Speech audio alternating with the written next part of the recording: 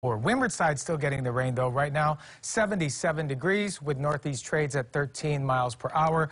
The threat of heavy rain still there because we have a disturbance over the islands that have triggered thunderstorm activity that have moved offshore. You can see still some thunderstorm activity, but thankfully we're not seeing any thunderstorms on land. That being said, we have a lot of moisture that we're dealing with. We're going to still be dealing with this tomorrow morning. But by Wednesday evening, a lot of this is going to dry out, and that opens the door for a beautiful weekend weather forecast. Well, not just weekend, but um, Thanksgiving weather forecast. So there may still be some pockets of heavy rain. Again, most of the thunderstorm activity has been south of Kauai, south of Oahu, and to the west of the Big Island. So it's now just back to scattered windward and Mauka showers for the Garden Isle.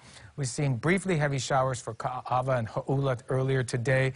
It's just that when these rains start to hit the mountains, those mountains do a really good job of extracting those showers. Central Oahu, West Oahu dry right now. Still a little bit for East Maui and even in the areas such as the West Maui Mountains and for Molokai, Central Molokai, seeing a few showers right now. Same with the Puna District on the Big Island. These are not heavy. Those winds have kicked up surf for the east shores tomorrow. It's going to be around 6 to 10 for the east shores.